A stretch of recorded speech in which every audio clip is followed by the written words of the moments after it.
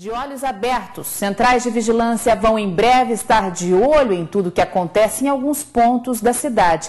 A central vai controlar o trânsito de Campo Grande e ainda monitorar os locais onde há maior número de violência, como roubos e furtos.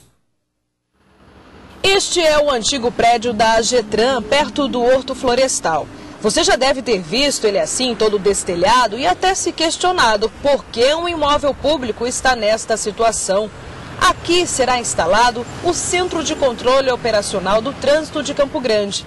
220 semáforos que serão trocados por equipamentos mais modernos vão ser controlados no centro. O sistema semafórico aqui em Campo Grande ele já tem uma, uma certa idade. Então você tem que dando mesmo uma manutenção, você tem que dar uma melhorada.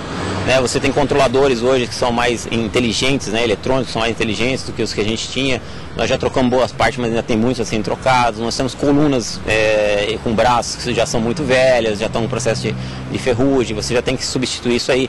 A própria parte do grupo focal, né? Antigamente se usava as lâmpadas incandescentes que gastavam muito mais energia. Agora a gente está usando muito LED. No prédio ficará também o controle de câmeras que devem começar a serem instaladas ainda este ano para monitorar o trânsito da cidade. Os primeiros pontos já foram escolhidos. O equipamento ficará na Avenida Afonso Pena, uma das vias de maior fluxo.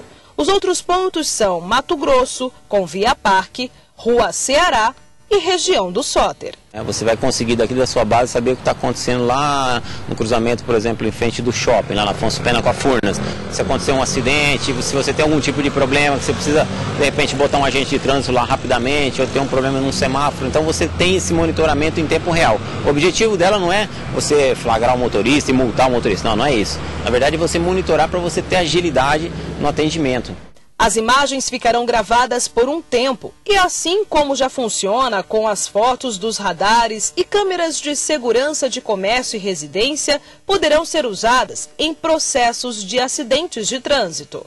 Em um outro projeto da Prefeitura, em parceria com o Ministério da Justiça e que também prevê o uso de câmeras, serão instalados 28 equipamentos em pontos da cidade onde o problema é a violência como na região central, onde se concentra o comércio de Campo Grande e tem grande fluxo de pessoas. A população deu a opinião sobre o projeto. Eu acho muito importante, né, para evitar assalto, né, que a pessoa assaltou, ele está sendo monitorado, né? Eu acho uma boa, porque é o melhor, não tem outra opção. É como mostrar uma pessoa que, se não viu, a câmera está mostrando, ela não vai poder se recusar. Se ele cometer um assalto? Vai ter que cumprir, que está mostrando a pessoa ele não vai poder falar não. É bom para a nossa segurança, mas é, tira um pouco da privacidade das pessoas, né?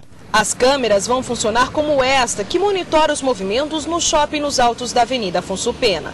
O equipamento ajudou a solucionar um suposto estupro em agosto do ano passado. Uma adolescente disse ter sido violentada em frente ao shopping, mas as imagens mostram a presença da polícia no local e horário em que o crime teria acontecido e ajudaram a provar a falsidade.